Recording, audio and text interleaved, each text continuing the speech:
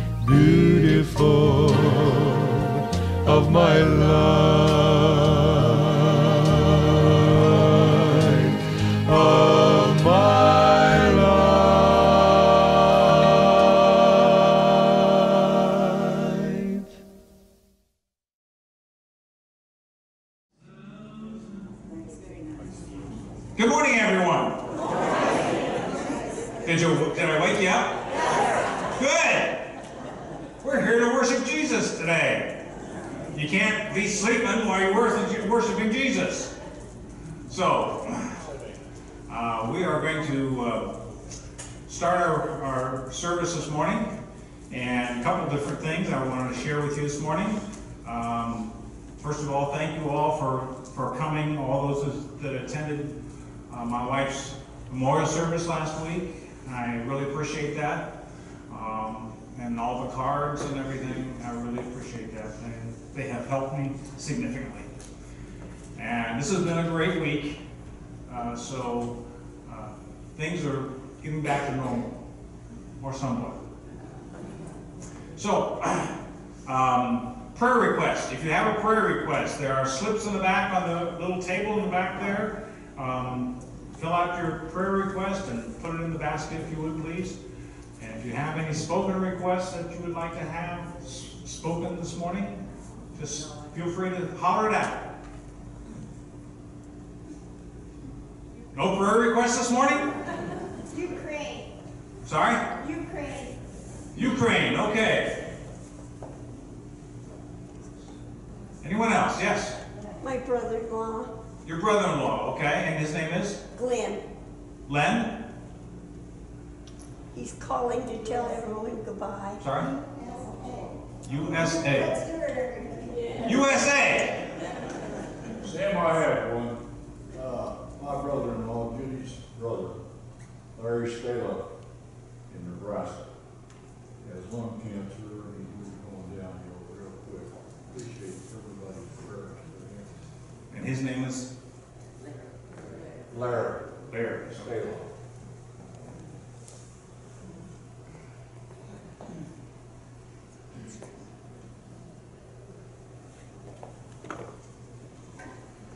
I have to write them down. Otherwise, I, oh, we have one more back there. Uh, our niece Becky's having bone marrow transplant and some prayers. Thank you. Okay, um, let's, um, let's all stand, please.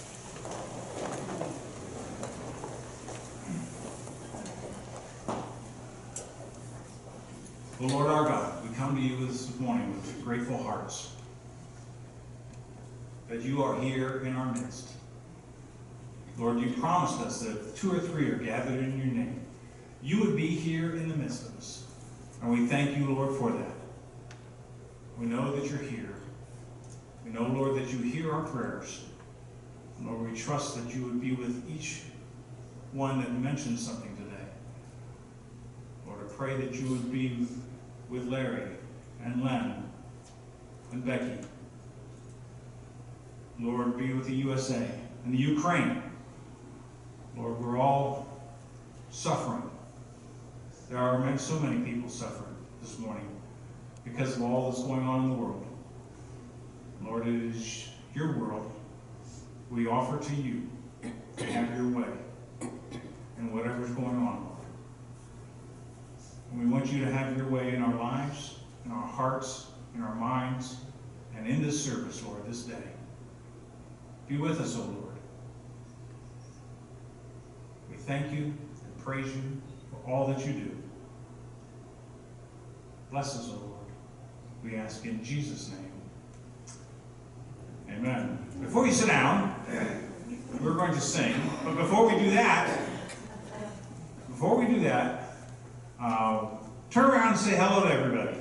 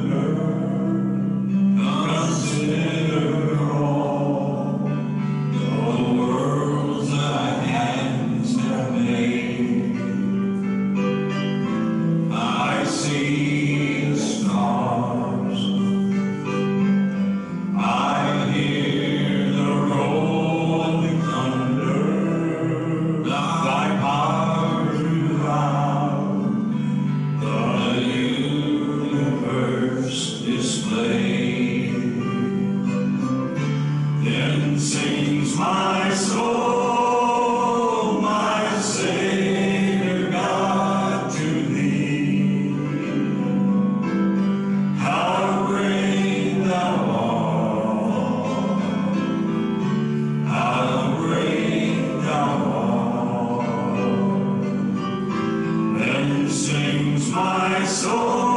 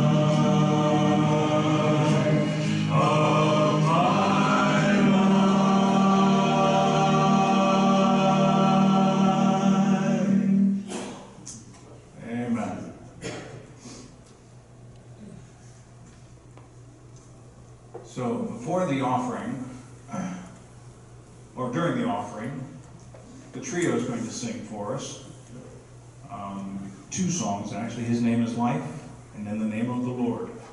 And so, ushers, would you go ahead and start the offering, please? And then Terry, no, not Terry, um, Neil is going to speak for us today.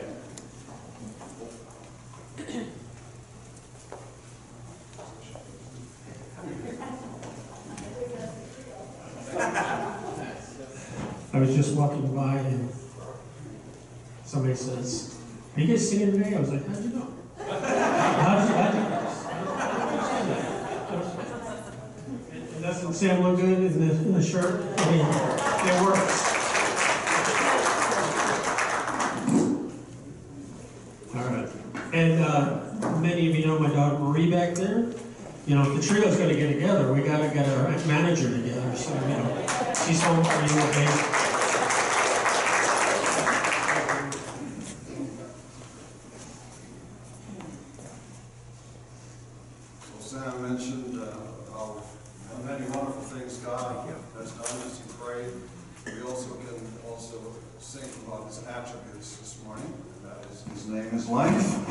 and also uh, his, his, his, power and strength and hope in his name. name of the Lord.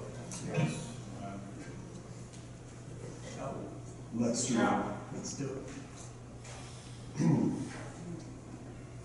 it.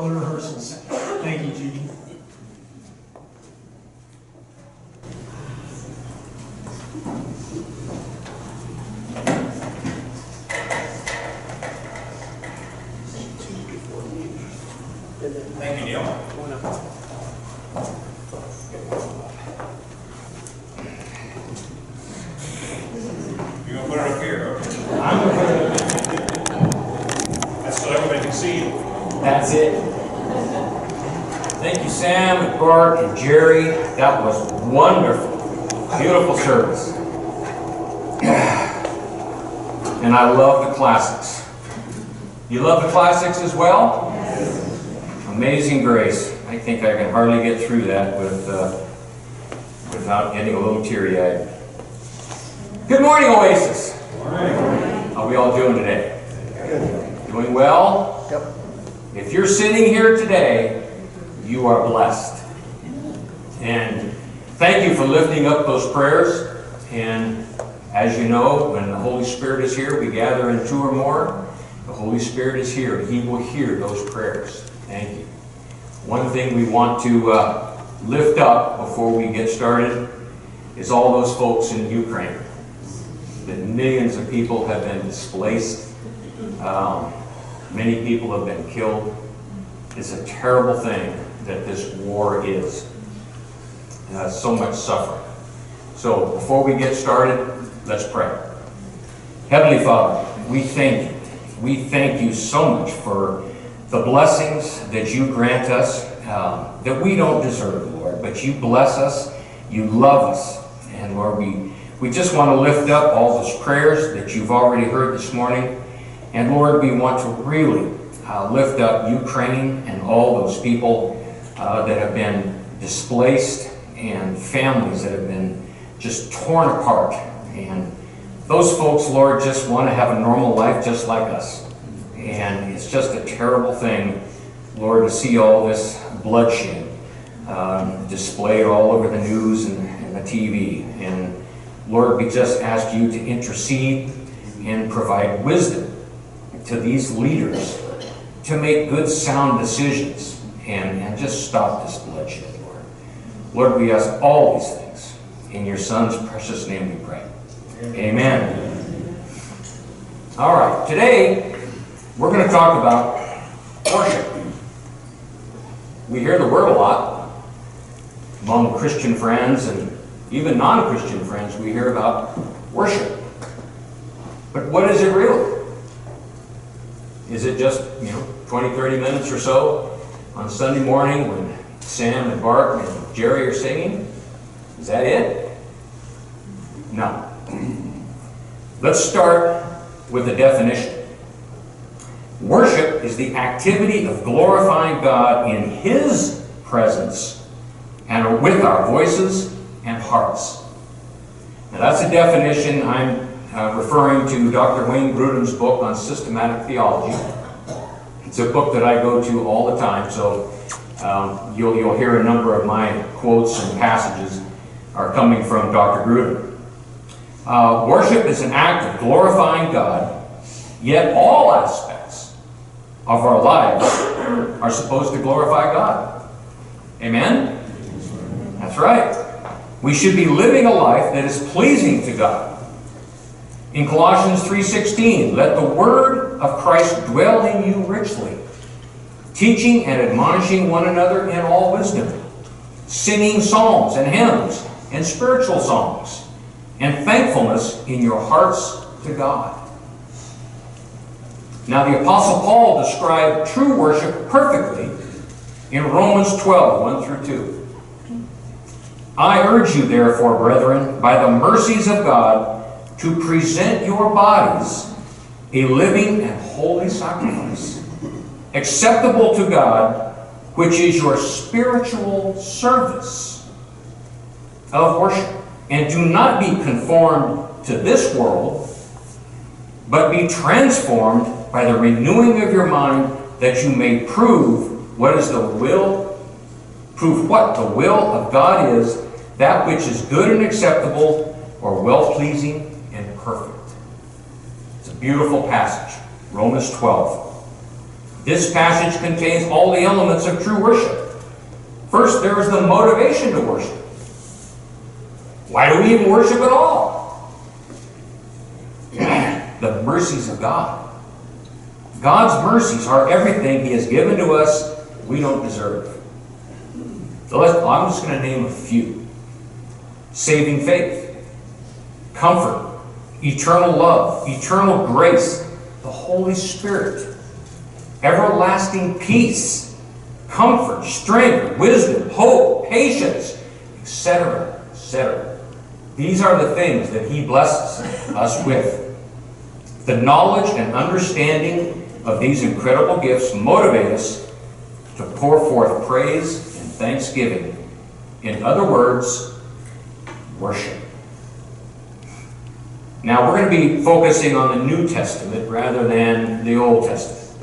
If you remember in the Old Testament, you had the tabernacle and you had two different rooms. You had the Holy of Holies, where the Ark of the Covenant was located, and only the high priest, only the high priest, once a year, could go into the Holy of Holies. And did you know he had something tied around his foot? Yeah, it was a rope. and that was comforting, I'm sure.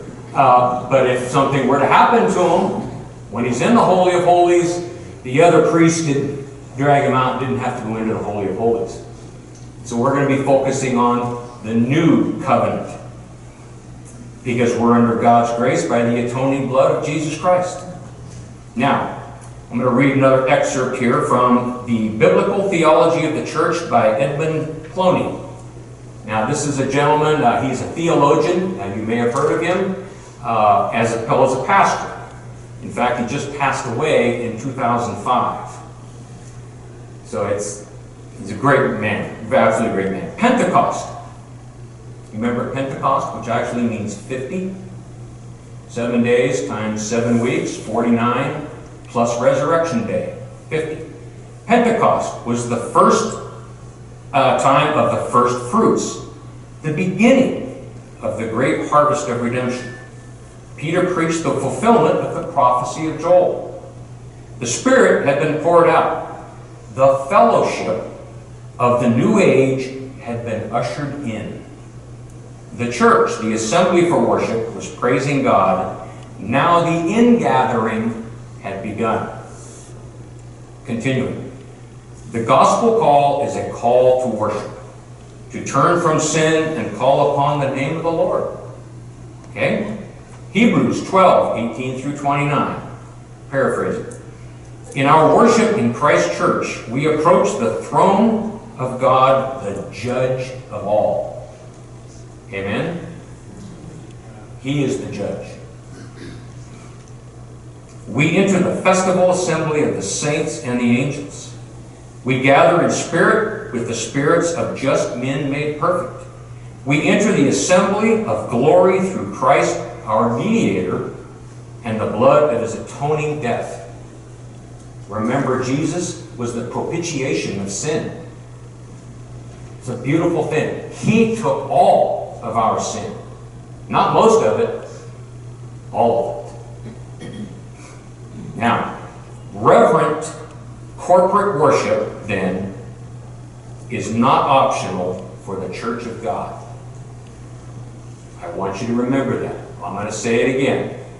Reverent corporate worship is not optional for the church of God. I'm going to be touching that on that theme as I go along my teaching. I want you to remember that. Worship is therefore a direct expression of our ultimate purpose for living. To glorify God and fully to enjoy Him forever. We're talking about eternity, folks. Forever. We were made to glorify God in Ephesians 1.12. So that we, who were the first to hope in Christ, might be to the praise of His glory. Okay? God is worth, excuse me, God is worthy of worship. We are not. Only He is worthy, and not any of His servants. It's Revelation 19.10. We are not to worship the saints, the prophets, the angels, or any false gods, or even Mary, the mother of Jesus. There's only one. God. Nobody else. Because God is worthy of worship and seeks to be worshiped, everything in our worship service should be designed and carried out not to call attention to ourselves, but to call attention to God and to cause people to think about Him. Okay? It's not just singing. Be fully involved with Him.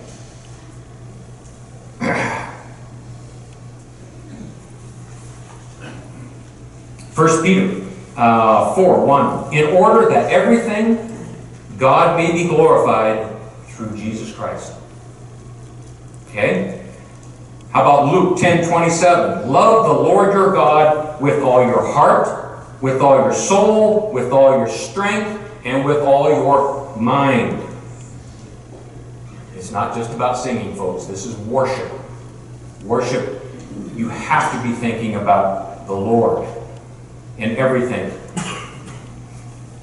We draw near to God when we worship corporately. I love this passage.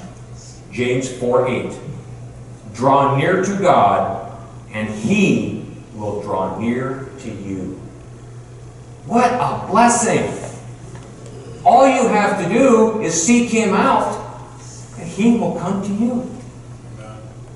That's beautiful. What a beautiful thing. This has been the pattern of God's dealings with His people throughout the Bible. And we should expect the same today. Amen? Thank you. When we come to worship, we come into God's presence in a special way. And we may expect that He will meet us there and minister to us. In Hebrews 4:16, let us then with confidence draw near to the throne of grace, that we may receive mercy and find grace to help in time of need. Oh, what a beautiful thing. In time of need. Now, I can tell you from my own personal experience that I have felt the Holy Spirit move me spiritually when I've been in worship at my church. That's not a big, it's not a big dramatic thing. It's very subtle and very comforting. Now, some folks will say they hear God speaking to them. That's fine. It's wonderful. For me, it's not that way. It's a gentle nudge. It's just a little nudge. It's very subtle, but it's there. It's there. Now, I'm going to get a little personal here, and I'm going to share with you my testimony. I think uh, Faye, where's Faye? Faye was there. There's Faye. Uh, last month, uh, shared with us. So now I'm going to share my testimony with you. Uh, the time was about 1990, August of 1990, in Christ Community Church, CCC in Sacramento, California. And that church is still there, and it is thriving. Uh, my late wife and I felt that we needed to baptize our firstborn son, Kyle, who was about nine months at the time. Now, I just happened to find CCC through the phone book. Apparently, about 3% of people find churches through the phone book. I don't know if that's good or bad. That's what I know. Uh, anyway, my wife and I walked in and uh, we found a couple of seats in the back of the sanctuary, of course. We're a little afraid to do anything.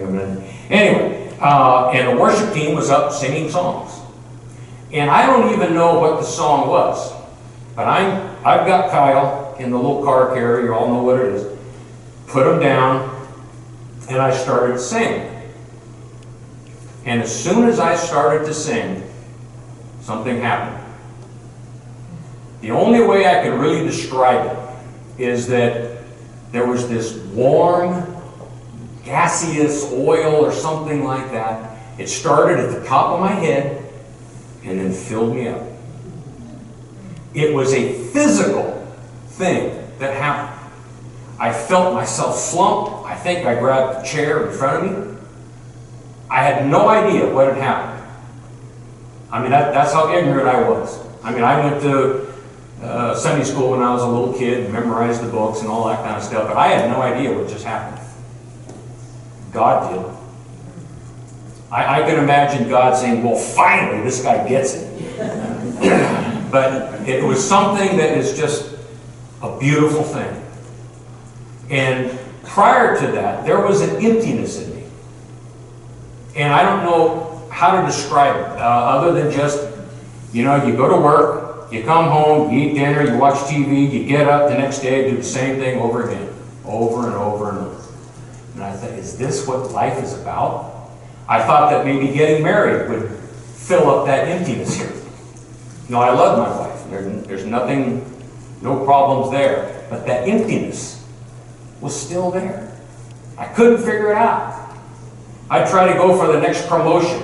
uh, get more engineering certifications, get more education, get, you know, trying to figure out how to get rid of that emptiness. It never went away until that day in the back of Christ Community Church. And the Holy Spirit indwelled in me. And it's never left. And He never will. He never will. Now, how can we enter into genuine worship? Worship is a spiritual activity and it must be empowered by the Holy Spirit working within us. This means that we must pray that the Holy Spirit will enable us to worship rightly, to worship in spirit and truth. In spirit and truth is best understood to mean not in the Holy Spirit, but rather in the spiritual realm. In the realm of spiritual activity. This means that we must be fully involved with worship. Remember? Thinking about this, not just singing, bringing God into the worship service. Singing and praying in a way that is pleasing to God. Be thinking about Him and His grace that He bestows on us. Okay? God is seeking those who will worship Him in the spiritual realm. In John 4 23 and 24, but the hour is coming and is now here when the true worshipers will worship the Father in spirit and truth.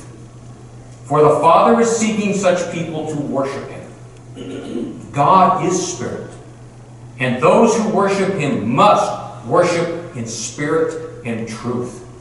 The Lord does not like people who are not being truthful. Hypocrites. The Lord does not like hypocrites. He wants you to be real. Now, when I'm saying my my daughter has told me that I'm not much of a singer, and I probably, you know, scare the cats uh, with my voice. But that's not what's important. What's important is to sing and to think about God and the grace and the mercy that He has bestowed on me that I don't deserve. I don't.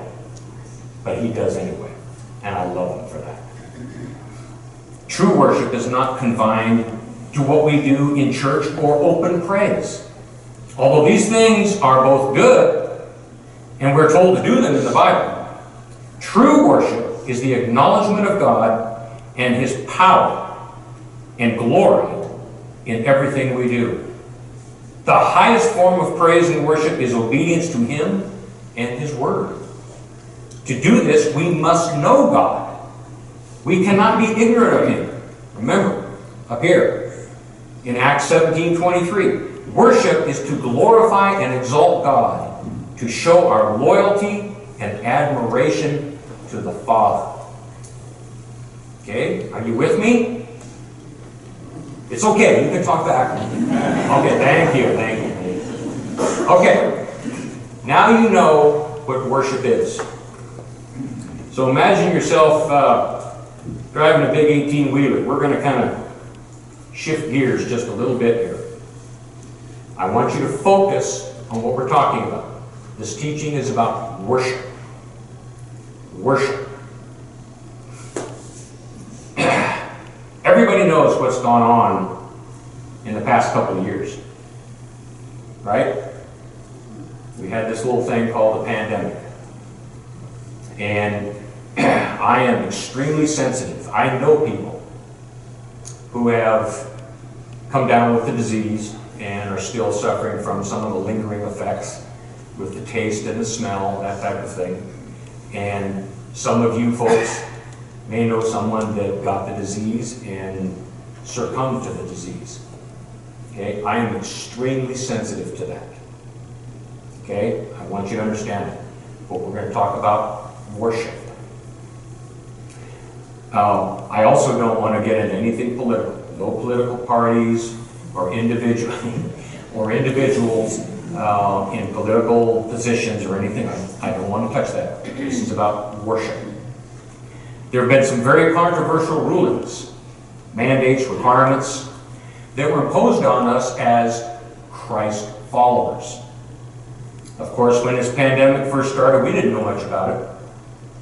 Even the scientists didn't know much about it. Very little about what was going on. The government started by restricting air travel. You remember certain restrictions on this country or that country. And then the hospitals started to get overcrowded with patients. And that's when the lockdowns started. You remember the lockdowns? I know you do. Um, the government decided what was essential and what was non-essential. That's interesting.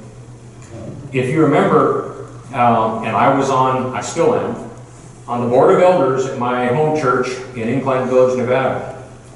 And we were told to shut down. Shut down our church. All the churches were to shut down. Interestingly, the liquor stores were open. Now, I like wine. I, I freely admit, I like a glass of wine, two glasses of wine. But wine as opposed to my church, my worship. Uh, what I want to talk about is when is faith and worship not essential?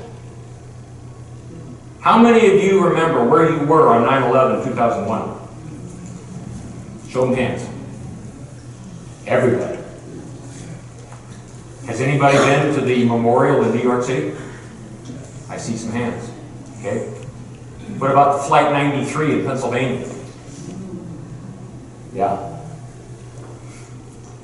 When I walked into that room at the uh, Flight 93 and the tapes were running in the background, and you could see the actual uh, pieces of material that they took out of the ground.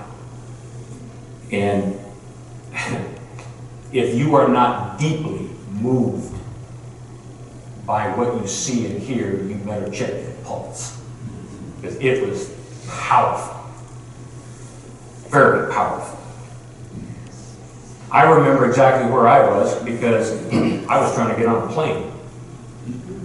Sacramento International Airport, trying to get on the plane.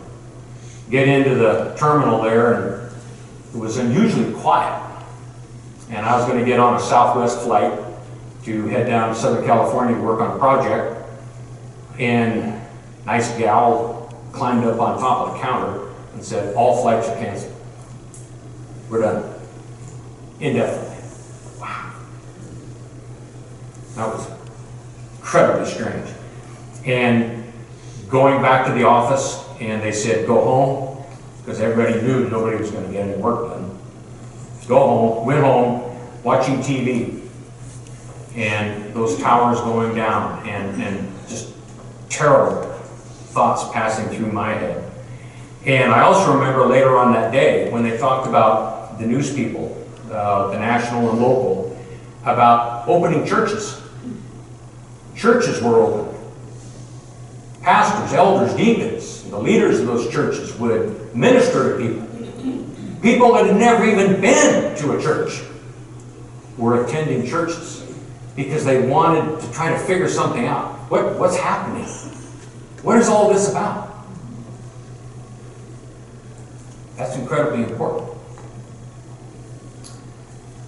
Most churches did. And that was during 9 11. Now, in the pandemic, we closed for about eight, nine weeks, something like that. Um, and we had many meetings as a board of elders trying to figure out what are we going to do, what are we going to do, etc., etc., etc. And after about, I think it was nine weeks, um, that we decided to open back up again. And it was interesting that the county sheriff, remember, a sheriff is elected, police chiefs are appointed. So the elected county sheriff said publicly he was not going to be the mask police. He was not going to enforce it. And I give that gentleman a lot of credit. Yeah, he stood up. I, I give him a lot of credit. Um, anyway, moving on. Now, is this an assault on our religious freedoms when governors impose uh, mandates. In fact, uh, I don't know if you knew it, but in today's paper, uh, the emergency powers for the governor is still on right now. Why? But anyway, we'll go on. Now, the First Amendment to the Constitution of the United States. First Amendment, quote, Congress shall make no law respecting an establishment of religion or prohibiting the free exercise thereof, or abridging the freedom of speech or of the press, or the right of the people peaceably to assemble and to petition the government for a redress of grievances, end quote. If you're a United States citizen, that's you. That's you. If the government's done this once, they're going to do it again. I guarantee it. Now, I personally, during the first part of this pandemic, uh, I personally typed out some emails to the governor, uh, to his official website, sent out a couple of them, never got a response. Uh, as a church, our board of elders, we composed a letter. All of us signed it. We sent it to the governor. Crickets. Not a, not a word, not even an acknowledgement. Then an attorney uh, doing pro bono work for a number of churches. I believe it was the Northern Nevada Church Alliance. I could be wrong on that, but beautifully written letter. Uh, attorneys know how to write. I wish I could write that well. But anyway, uh, beautifully written, two and a half pages, electronically signed by over 150 pastors and elders all over northern Nevada, all denominations, non-denominations. Crickets. To my knowledge, uh, never heard a word. Not a single word. Is this, is this government? When we're uh, writing letters, communicating what our thoughts are? And by the way, if, if, if anybody does communicate with their governor or representative, please be polite. Okay? Don't be rough or negative or anything, just be polite and be godly. Now I know about Romans 13. Anybody know Romans 13? Oh yes. Let every person be subject to the governing authorities, for there is no authority except from God, and those that exist have been instituted by God. Okay? That was what I used uh, in my justification for closing the church for eight, nine weeks, was Romans 13. Because we're trying to abide by um, what the governor wanted. Now, I, I will assure you that on our board, there was at least one elder that did not want to close. Did not want to close. So we had to go back and forth and back and forth. And if you remember, there were a few churches that did not close, and those pastors were arrested. Yeah, arrested and jailed. Now remember, folks, we're talking about worship. Corporate worship is not an option. Now, if you can believe this, I wrote this last month. Less than 24 hours after I wrote this, there was a report that was produced by Johns Hopkins University. I don't know if you ever heard of Johns Hopkins. Yeah. Top university. Top university. That reviewed something like 34 other studies. So here's, they're down here in this big umbrella, all these studies, they reviewed those studies from all over the world. Now, this is what they're saying. These aren't my words, these are theirs. Lockdowns had no noticeable effect on reducing COVID-related deaths and a devastating effect on economies and social ills. Further, the study concluded that lockdowns are ill-founded and should be rejected as a pandemic policy instrument. Now, I didn't read the entire study, but that was the conclusion of that particular study, which I thought it was fascinating that that came out right after I wrote this. Um, in Virginia, just this past week, the Virginia lower house passed a bill saying that churches, synagogues, and mosques, all houses of worship, would be exempt from any executive orders or any government agencies. That was on Tuesday. The upper house in Virginia killed the bill. So people are thinking about this. They're thinking about this. There's nothing wrong with our form of government. It's a beautiful form of government, the triad, the executive, the judicial, and the uh, Congress. Okay? It's just some of the folks that are in those positions. Okay? I'll leave you with this. You've heard me this morning talk about worship, true worship, singing songs and hymns, thinking about God, and be pleasing to God. Worship is crucial to our faith. Amen? Amen.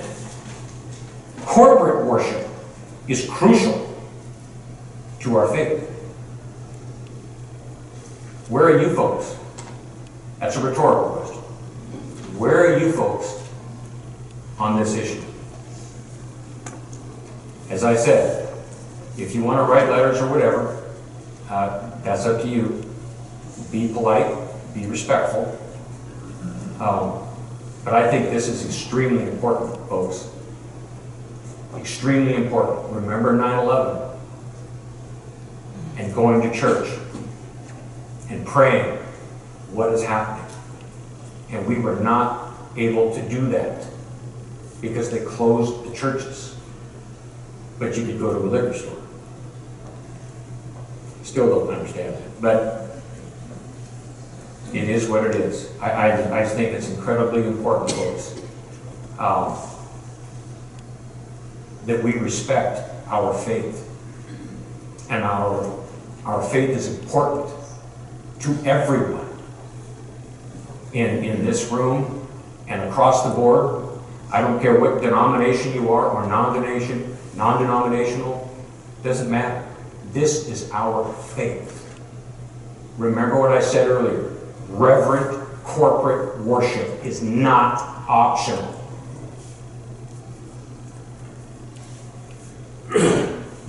Let's pray. Heavenly Father, we thank you for this beautiful day, Lord. We thank you for the many, many blessings that you bestow on us, Lord. Uh, you've heard our prayers, and Lord, uh, we know that your Spirit is here. And if anyone has any prayers, lift them up right now. Uh, the Lord will hear them. And in His time, um, He may answer in His time. Uh, it is not our will, it is His will. And Lord, we do ask that you just bless those people in Ukraine um, that are just uh, the terrible toll that this war is having on millions of people's lives. And Lord, we, uh, we thank you for the blessing of those people who are helping um, the people of Ukraine uh, escape, the people of Poland and Germany and, and other surrounding countries, Lord. And the Red Cross that is out there and feeding people and handing out blankets. Bless these people, Lord. Even in this ugliness of war, the humanity of good people and the humanity of people that want, are willing to help other people. And Lord, uh, help us to uh, help those, uh, help these, uh, these poor folks in Ukraine. Lord, we ask all these things in your Son's precious name we pray. Amen. Please stand for the benediction.